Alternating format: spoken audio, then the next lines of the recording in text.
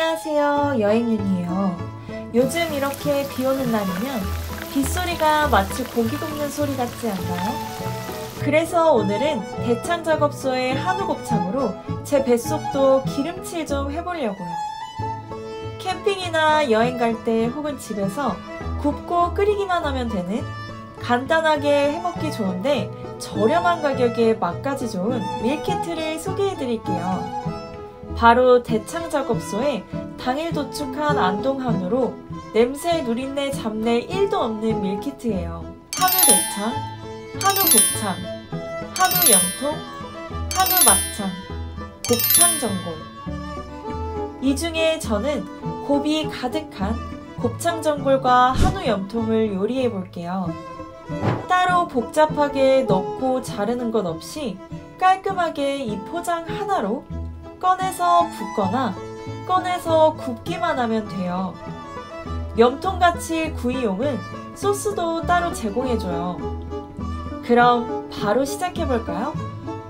먼저 곱창 전골 밀키트는 신선한 한우 곱창, 특양 등등 그리고 양념, 곱창 전골을 위한 육수가 모두 같이 섞어져 있어요.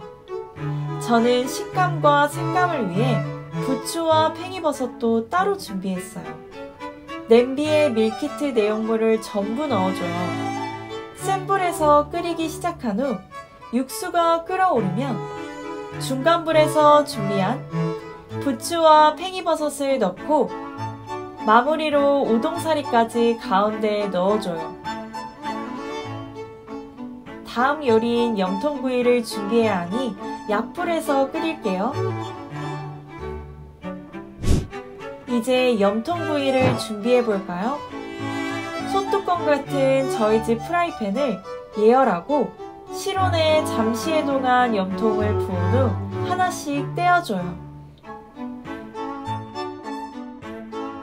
염통은 너무 오래 구우면 질겨질 수 있으니 적당히 구워주는 것이 가장 중요해요. 짜잔! 이렇게 간단하게 곱창 전골과 염통구이가 완성되었습니다. 오늘같이 비 오는 날에는 이런 이열치열 맛 좋은 음식에 술이 빠질 수 없겠죠? 꿉꿉하고 더운 여름이니까 시원하게 소맥으로 맛있게 말아볼게요.